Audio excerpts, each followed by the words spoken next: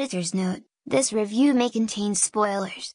Summary The Justice League converges in a plan to defeat the Kindred. Positives The cover by Tony S. Daniel and Tomeu Morey is pretty cool.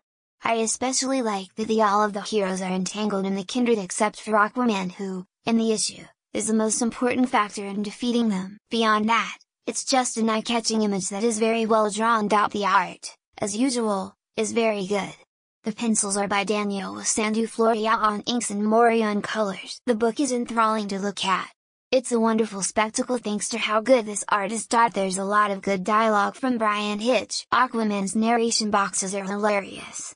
And Batman has a good line about how the Justice League always manages these last minute saves that almost seem miraculous. There's a self-aware nature to Hitch's writing that is fairly entertaining. I like the idea that the invasion was meant to stop the Kindred but the Justice League stopped the invasion and allowed the Kindred to get as far as they do. That's an interesting concept. Negative is he found this issue very boring. The issue is mostly action which I understand.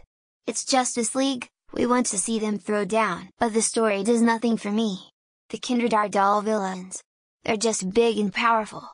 If there was an interesting conflict, I could maybe get more into it but there's not a lot here. If you just want the Justice League kicking ass, this is a book for you.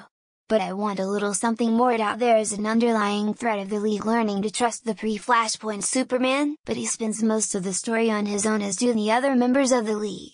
Everyone is off on their own little side quest. Their mission is the same but everyone feels disjointed. I don't think Aquaman ever talks to another member of the League in this story. Sometimes splitting the team up is a good idea but since this is a new team with new Green Lanterns and, to the others, a new Superman, I would have liked to have seen the League interact more. Verdict Ultimately, I don't enjoy this issue.